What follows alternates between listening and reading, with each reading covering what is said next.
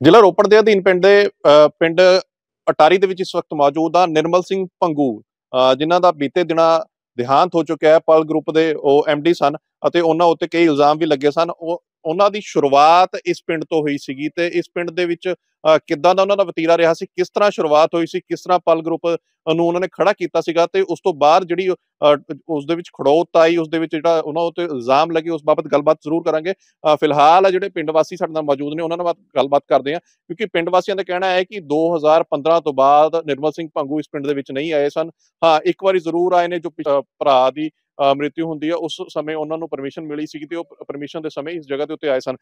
ਪਰਿਵਾਰਕ ਦੇ ਨਾਲ ਜਾਣ ਪਛਾਣ ਰੱਖਣ ਵਾਲੇ ਪਰਿਵਾਰਕ ਦੇ ਨਾਲ ਨਜ਼ਦੀਕੀ ਸੰਬੰਧ ਰੱਖਣ ਵਾਲੇ ਉਹਨਾਂ ਦੇ ਗਵਾਂਢੀ ਇਸ ਵਕਤ ਮੌਜੂਦ ਨੇ ਸਾਡੇ ਨਾਲ ਗੱਲਬਾਤ ਕਰਦੇ ਹਾਂ ਸਰ ਕੀ ਨਾਮ ਹੈ ਜੀ? ਜਸਵੰਤ ਸਿੰਘ। ਸਵੰਜ ਕਿਸ ਤਰ੍ਹਾਂ ਦਾ ਤੁਸੀਂ ਦੇਖਿਆ ਵਤੀਰਾ ਨਿਰਮਲ ਸਿੰਘ ਭੰਗੂ ਹੋਰਾਂ ਦਾ? ਕਿਉਂਕਿ ਤੁਸੀਂ ਬਹੁਤ ਸੁਭਾਅ ਤਾਂ ਬਹੁਤ ਹਰੇਕ ਕਿਸੇ ਦੀ ਮਦਦ ਕਰਨ ਨੂੰ ਉਹ ਹਰ ਤਰ੍ਹਾਂ ਤਿਆਰ ਰਹਿਣ ਤੇ। ਉਹਨਾਂ ਨੇ ਦੇਖੋ ਇਹਨੇ ਨੌਕਰ ਵੀ ਰੱਖੇ ਉਹਨਾਂ ਨੇ ਜਿਹੜੀ ਪਾਲ ਆਪਣੇ ਕੰਪਨੀ ਚਲਾਈ ਹੈ ਨਾ ਹੇਠਲੀ ਪੱਧਰ ਤੋਂ ਚਲਾਈ ਹੈ। ਹੂੰ। ਪਹਿਲਾਂ ਦੇਖੋ ਉਹਨਾਂ ਦਾ ਜੀਵਨ ਪਹਿਲਾਂ ਉਹ ਉਹਨਾਂ ਮੈਟਰ ਕਰੀ ਫਿਰ ਉਹਨਾਂ ਨੇ ਆਪਣੇ ਟੂਬਲ ਆਪਰੇਟਰ ਲੱਗੇ।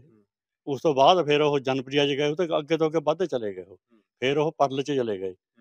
ਪਰਲ ਦੇ ਵਿੱਚ ਉਹਨਾਂ ਦੇ ਜਿਹੜਾ ਮਾਲਕ ਤਾਂ ਉਹਦੀ ਡੈਥ ਹੋਣ ਕਰਕੇ ਫਿਰ ਇਹਨਾਂ ਨੇ ਉਹ ਕੰਪਨੀ ਖਰੀਦ ਲਈ। ਉਸ ਤੋਂ ਬਾਅਦ ਇਹਨਾਂ ਨੇ ਫਿਰ ਬਹੁਤ ਤਰੱਕੀ ਕਰੀ ਹੈ। ਤੁਸੀਂ ਕਹਿ ਰਹੇ ਹੋ ਤਰੱਕੀ ਕੀਤੀ ਹੈ ਠੀਕ ਆ ਸੁਭਾਵਿਕ ਤੌਰ ਤੇ ਜਦੋਂ। ਬੰਦਾ ਘਰ ਤੋਂ ਬਾਹਰ ਨਿਕਲਦਾ ਹੈ। ਤਾਂ ਆਪਣੇ ਆਪ ਨੂੰ ਵੱਡੇ ਪੱਧਰ ਉੱਤੇ ਦੇਖਣਾ। ਚਾਹੁੰਦਾ ਹੈ ਲੇਕਿਨ ਤਰੱਕੀ ਤੋਂ ਬਾਅਦ ਜਦੋਂ ਪਲ ਗਰੁੱਪ ਦੀ ਸ਼ੁਰੂਆਤ ਹੁੰਦੀ ਆ ਠੀਕ ਠਾਕ ਚੱਲਦਾ ਹੈ ਲੇਕਿਨ ਉਸ ਤੋਂ ਬਾਅਦ ਜਿਹੜੇ ਹੁਣ ਇਲਜ਼ਾਮ ਲੱਗੇ ਸਨ ਉਹਨਾਂ ਨੂੰ ਤੁਸੀਂ ਕਿਦਾਂ ਦੇਖਦੇ ਭਾਵੇਂ ਕਿ ਹੁਣ ਉਹਨਾਂ ਦੀ ਮ੍ਰਿਤਿੂ ਹੋ ਚੁੱਕੀ ਆ ਲੇਕਿਨ ਕਈ ਅਜੇ ਲੱਖਾਂ ਲੋਕ ਨੇ ਜਿਨ੍ਹਾਂ ਦਾ ਪੈਸਾ ਡੁੱਬਿਆ ਹੈ ਉਹ ਉਸ ਬਾਬਤ ਤੁਸੀਂ ਕਿਦਾਂ ਇੱਕ ਕੇਸ ਕੂਸ ਪਾਏ ਉਹ ਕੇਸਾਂ ਦੇ ਬਾਅਦ ਫਿਰ ਆਪਣੇ ਆਪਣੇ ਆਪਣੀ ਸੁਪਰੀਮ ਕੋਰਟ ਨੇ ਜੀ ਉਹਨਾਂ ਨੇ ਕਮੇਟੀ ਬਣਾਤੀ ਲੱਦਾ ਕਮੇਟੀ।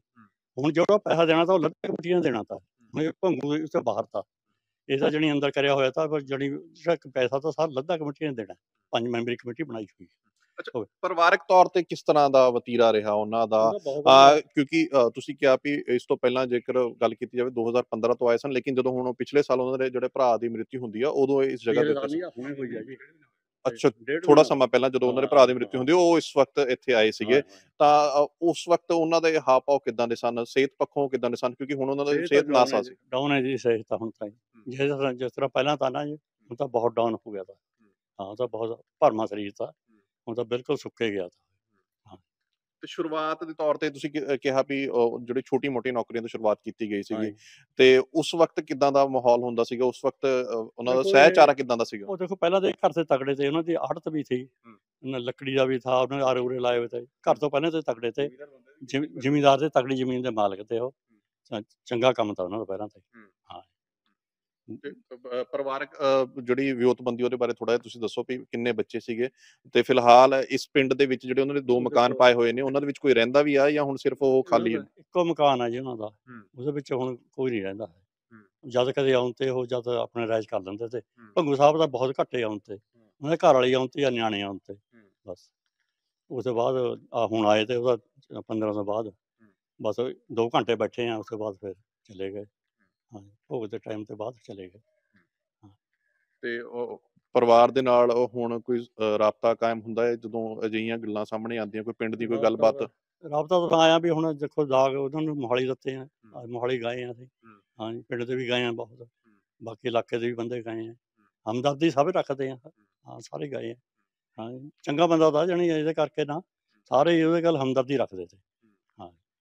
ਇਲਾਕੇ ਦਾ ਬਹੁਤ ਘਾਟਾ ਪਿਆ ਹੈ। ਕਿਉਂਕਿ ਇਲਾਕੇ ਦਾ ਕਿਸੇ ਸਮੇਂ ਉਹਨਾਂ ਨੇ ਨਾਮ ਵੀ ਬੜਾ ਰੌਸ਼ਨ ਕੀਤਾ ਸੀ। ਨਾ ਵੀ ਆ ਜਿਹੜੇ ਜਿਹੜੇ ਕੋਈ ਕਿਸੇ ਨੂੰ ਕਹੇ ਤਾਂ ਉਹ ਕਰਕੇ ਹਟਦੇ ਤੇ।